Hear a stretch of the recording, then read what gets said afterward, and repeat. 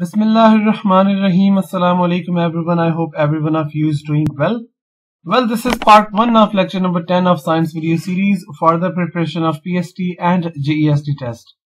और आज के इस लेक्चर में हम लोग पढ़ने वाले हैं क्लास सिक्स साइंस का चैप्टर नंबर 10 जिसका नाम है प्रॉपर्टीज़ ऑफ़ लाइट इस वीडियो की आउटलाइन कुछ इस तरह से है पार्ट वन में हम लोग पढ़ेंगे layers of earth atmosphere light radiation electromagnetic spectrum light radiation और इलेक्ट्रोमैग्नेटिक स्पेक्ट्रम को पढ़ने के लिए ज़रूरी है कि हम लेयर्स ऑफ़ अर्थ एटमॉस्फेयर को भी समझें।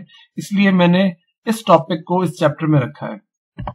पार्ट टू में इन सारे टॉपिक्स के बारे में, जबकि पार्ट थ्री में इन सारे टॉपिक्स के बारे में हम लोग पढ़ेंगे।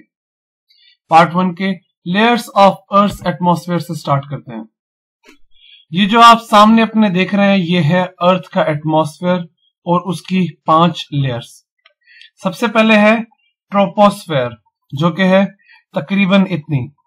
यहाँ से लेके, ज़मीन की सरफेस से लेके यहाँ तक, जहाँ पर आपके एरोप्लेन्स आपके बादल और जहाँ पर हम सारे लोग रहते हैं, वो है हमारे एटमॉस्फेयर का ट्रोपोस्फेयर वाला एरिया इसकी जो रेंज है, वो है ज़ीरो से लेके, यानी कि ज़मीन की सरफेस से लेके, अगर आप 12 किलोमीटर तक हाई चले जाएँ तो वो जो लेयर है, वो है ट्रोपोस्फेयर उसके बाद है ये वाली लेयर जिसका नाम है स्ट्रेटोस्फेयर स्ट्रेटोस्फेयर में हमारे जो जेट्स हैं, वो होते हैं, लेकिन इसके लिए ये फ़ेमस नहीं है। स्ट्रेटोस्फेयर फ़ेमस है ओजोन लेयर के लिए।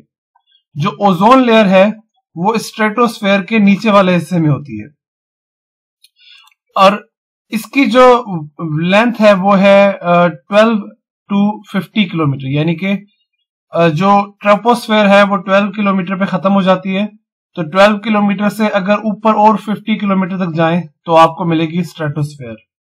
उसके बाद ये जो लेयर है, इसको हम कहते हैं मेजोस्फेयर मेजोस्फेयर में हमारे मेट्योर्स और मीथेन गैसेस के बहुत सारे क्लस्टर्स वगैरह वगैरह होते हैं। मेसोस्फेयर की जो रेंज है, वो है 50 किलोमीटर से ऊपर अगर हम 80 किलोमीटर तक जाएँ तो वहाँ तक आपको मेजोस्फेयर मिलेगी। मेजोस्फेयर के बाद है ये वाली रेंज, जिसको हम थर्मोस्फेयर कहते हैं। थर्मोस्फेयर के अंदर हमारी सैटेलाइट्स वगैरह होती हैं। और इसी में एक और लेयर भी होती है, जैसे ओजोन लेयर होती है स्ट्रेटोस्फेयर में। वैसे ही थर्मोस्फेयर में भी एक करमान लाइन के नाम से एक लेयर होती है।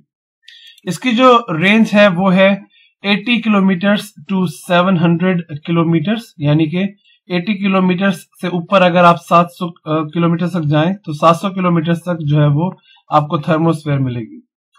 उसके बाद लास्ट में ये वाली जो आप लेयर देख रहे हैं उसको हम कहते हैं एक्सोस्फेयर और एक्सोस्फेयर जो है उसकी रेंज है 700 किलोमीटर से 10,000 किलोमीटर तक। अब ये इतनी बड़ी रेंज इसलिए है क्योंकि एक्सोस्फेयर आखिरी आखिरी लेयर है हमारे एटमॉस्फेयर की। और वो बाहर जाकर स्पेस के साथ मिल जाती है यानी कि स्पेस में मर्ज हो जाती है। तो इसकी कोई लिमिट नहीं है कि ये कितनी है कि, कि, कितने मीटर किलोमीटर की होगी कितने की नहीं होगी। तो वो क्योंकि बाहर जाके मर्ज हो रही है उसके साथ तो इसलिए बहुत ज़्यादा तक जो है वो एग्जोस्फेयर फैली हुई है। इसमें हमारे जो स्पेस में जाते हैं स्पेस में रॉकेट्स जाते हैं मून पे एक्सेट्रा वो मतलब एग्जोस्फेयर में होते हैं। ये थी हमारी अर्थ एटमॉस्फेयर की लेयर्स पाँच लेयर्स हैं। इनके अलावा भी एक दो नाम जो है वो लेयर्स के लिए जाते हैं, लेकिन इंपॉर्टेंट पाँच लेयर्स यही हैं। अब आते हैं हम लाइट पे। Light is a form of energy that travels in a straight line light energy की एक फॉर्म है, जो कि स्ट्रेट लाइन में सफ़र करती है, जैसे कि ये। It is a type of electromagnetic radiation visible to the human eye ये इलेक्ट्रो इलेक्ट्रोमैग्नेटिक रेडिएशन की एक टाइप है, जो कि ह्यूमन आई देख सकती है। अब इलेक्ट्रोमैग्नेटिक रेडिएशन क्या है, ये मैं आपको इसी लेक्चर में आगे बताऊँगा। It is made out of little packets called photons ये फोटॉन्स जो एक छोटे छोटे पैकेट्स होते हैं, उनसे मिलकर बनी होती है। और फोटॉन्स और कुछ नहीं होते, ना इनका कोई वेट होता है, ना कोई मैस होता है। ये सिर्फ़ पैकेट्स होते हैं एनर्जी के। एनर्जी के पैकेट्स को फोटॉन्स कहते हैं। Photons behave like particles in some ways and like waves in other ways ways photons जो हैं ये वाले ये कभी कभी आ, नहीं कभी कभी नहीं मतलब किसी आ, कुछ कुछ सिचुएशंस में ये पार्टिकल्स की तरह बिहेव करते हैं और कुछ सिचुएशंस में ये वेव्स की तरह बिहेव करते हैं। इसलिए ये वेव भी माने जाते हैं कुछ साइंटिस्ट इसको वेव कहते हैं कुछ साइंटिस्ट इसको पार्टिकल कहते हैं। इसलिए लाइट की जो है वो डुअल नेचर होती है वेव भी और पार्टिकल भी। अब अच्छे तरीके से समझने के लिए कि ये लाइट क्या है, इसकी जो डुअल नेचर है वो क्या है। अगर मैं सिर्फ़ इस पे बात करूँ तो पूरा लेक्चर इस पे निकल जाएगा दस बारह मिनट का। अगर आप लोग लाइट और इसकी डुअल नेचर के बारे में जानना चाहते हैं तो आप नीचे कमेंट में मुझसे एक नई वीडियो के लिए कह सकते हैं जिसमें सिर्फ़ और सिर्फ़ लाइट और उसकी डुअल नेचर के ऊपर बनाई जाएगी। फ़िलहाल इसको यहीं पे छोड़ते हैं। It appears that light is neither a wave nor a particle, but something unusual with characteristics of both.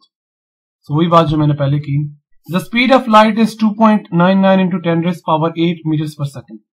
जो स्पीड है लाइट की वो है 2.99 into 10 raised power 8 metre per second कुछ लोग इसे 3 into 10 raised टू पावर 8 भी लिख देते हैं मीटर पर सेकंड वो भी ठीक है वो राउंड ऑफ़ करके निकाली होती है radiation radiation is a form of energy that is emitted in the form of rays और पार्टिकल्स रेडिएशन जो है वो एनर्जी की एक ऐसी फॉर्म है, जो कि पैदा होती है किसी भी चीज़ के अंदर से इमिट होती है रेज और पार्टिकल्स की सूरत में। लेकिन एक रेडिएशन की ऐसी फॉर्म भी है, जिसका कोई वेट नहीं होता। यानी कि पार्टिकल्स का वेट होता है, आपको पता है। रेज जो ट्रेवल कर रही होती हैं, उनका कोई ना कोई वेट होता होगा, लेकिन एक रेडिएशन की टाइप ऐसी है जिसका कोई भी वेट नहीं होता। और उस टाइप को हम कहते हैं इलेक्ट्रोमैग्नेटिक रेडिएशन ठीक है? अब इलेक्ट्रोमैग्नेटिक रेडिएशन क्या होती है?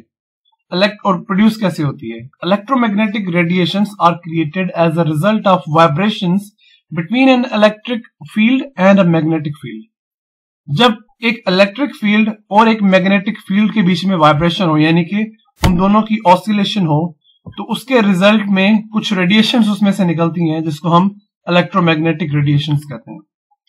इलेक्ट्रोमैग्नेटिक रेडिएशन की बहुत सारी टाइप्स हैं उनको आगे देखेंगे हम। Radiation can be created by humans microwaves cellphones radios X rays X rays machine यानी कि जो माइक्रोवेव्स हैं वो भी रेडिएशन निकालते हैं।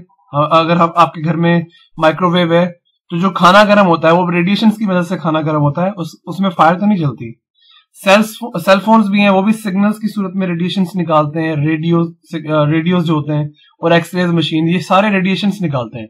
ये वो है जो ह्यूमन खुद निकलवाते ने मशीन बनाई हैं रेडिएशन निकालने के लिए।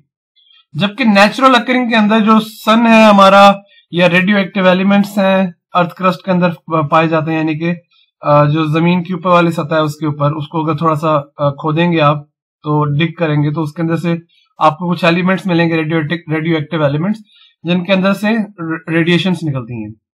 और मैग्नेटिक फ़ील्ड के अंदर भी रेडिएशन होती हैं, जो अर्थ की मैग्नेटिक फ़ील्ड है, वैसे ही स्टार्स और दूसरे भी जो आसमान में जो मिलते हैं हमें ऑब्जेक्ट्स एस्ट्रोफिजिकल ऑब्जेक्ट्स उनके अंदर से भी रेडिएशन निकलती हैं। Earth biggest source of radiation is the sun जो दुनिया में रेडिएशन आती है ना, उसका सबसे बड़ा सोर्स जो है वो सन है। और सन से जो all wavelengths in the electromagnetic spectrum जो है वो इमिट करता है सन यानी कि सन में से हमें इलेक्ट्रोमैग्नेटिक स्पेक्ट्रम की तमाम की तमाम वेवलेंस मिलती हैं। अब इलेक्ट्रोमैग्नेटिक स्पेक्ट्रम क्या है? उसके बारे में पढ़ते हैं।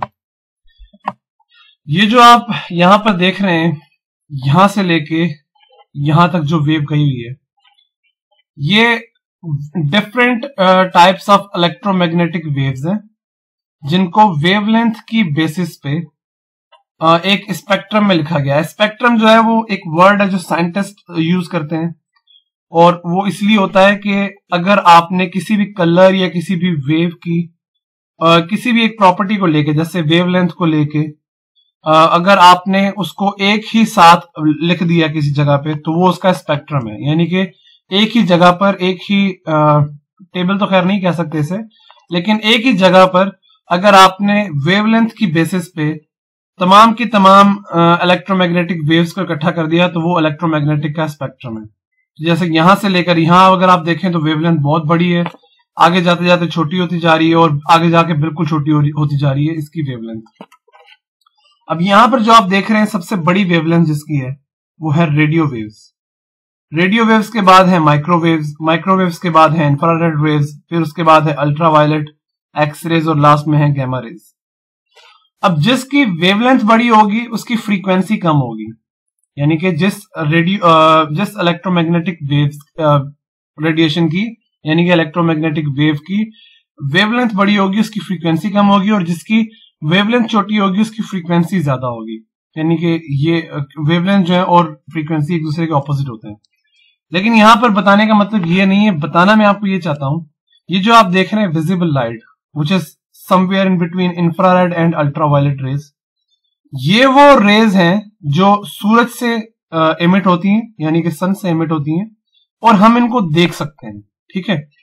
बाकी भी पूरी की पूरी लाइट ही, यानी कि ये जो इधर से लेके यहाँ तक है, ये लाइट ही होती है जो सूरज जो है वो इमिट करता है, क्योंकि सूरज पूरी की पूरी इलेक्ट्रोमैग्नेटिक स्पेक्ट्रम को अपने अंदर से इमिट करता है लेकिन हमारी आँख जो है वो सिर्फ़ और सिर्फ़ विजिबल लाइट को देख सकती है। विजिबल लाइट के राइट साइड पे जो है और जो लेफ़्ट साइड पे है उनको हम नहीं देख सकते। विजिबल लाइट में आती है विबग्योर यानी कि violet indigo blue green yellow orange red VIBGYOR जो कि ये वाला स्पेक्ट्रम है जिसको हम देख सकते हैं। ये है इलेक्ट्रोमैग्नेटिक स्पेक्ट्रम अब ये जो पिक्चर अब आप, आप अपने सामने देख रहे हैं। पीछे जितना भी हमने पढ़ा है उस पूरे पिक्चर को मर्ज उस पूरे के पूरे चीज़ों को मर्ज करके ये पिक्चर बनी हुई है। ये सम, बताने का वजह ये है ये बनाने की वजह ये है कि आपको पता चल सके कि सूरज की तरफ़ से जो रोशनी आती है और रोशनी आती है उसमें से कौन कौन सी रेडिएशन है जो ज़मीन तक पहुँचती है? कौन कौन सी रेडिएशन है जो ज़मीन तक नहीं पहुँचती अगर नहीं पहुँचती तो वो कहाँ जाती है? अब जो सूरज की तरफ़ से इलेक्ट्रोमैग्नेटिक रेडिएशन आती हैं, जिसके अंदर gamma rays X rays ultraviolet rays visible rays infrared microwave और रेडियो वेव्स होती हैं, वो ज़मीन की तरफ़ आ रही होती हैं। तो गैमा रेज जो है, ज़मीन की तरफ़ आते हुए स्ट्रेटोस्फेयर पे ओजोन लेयर उसको रोक लेती है, ठीक है? उसके बाद एक्स रेज जो है, वो कुछ मेजोस्फेयर में रुक जाती हैं, कुछ स्ट्रेटोस्फेयर में रुक जाती हैं। अल्ट्रावायलेट रेज कुछ जो है वो मेजोस्फेयर में, कुछ थर्मोस्फेयर में और बहुत थोड़ी सी जो है वो ज़मीन की सरफेस तक पहुँच सकती हैं। विजिबल जो रेडिएशन है विजिबल रेज जो है, वो सारी की सारी ज़मीन पे पहुँचती हैं और उनको हम देख भी सकते हैं। यही होती है, इसी को हम कहते हैं सनलाइट उसके बाद इंफ्रारेड वेव्स जो है, वो भी कुछ जो है वो ज़मीन पे पहुँच सकती हैं, जबकि कुछ जो है, ये वाला एरिया अगर आप देख रहे हो तो स्ट्रेटोस्फेयर उन्हें रोक लेता है। वैसे ही माइक्रोवेव्स को भी स्ट्रेटोस्फेयर रोक लेता है, जबकि रेडियो वेव्स तमाम की तमाम ज़मीन पे आ जाती हैं, यानी कि वो यहाँ पर उतर जाती हैं। तो ये था आज का लेक्चर उम्मीद है आप लोगों को समझ में आई होगी। अगर आपको ये वीडियो पसंद आई है तो इस वीडियो को लाइक करें, अपने दोस्तों के साथ शेयर करें, और इस चैनल को ज़रूर सब्सक्राइब करें don't forget to press the bell icon thank you very much आपसे मुलाकात होगी इंशाल्लाह अगली वीडियो में। अल्लाह हाफिज।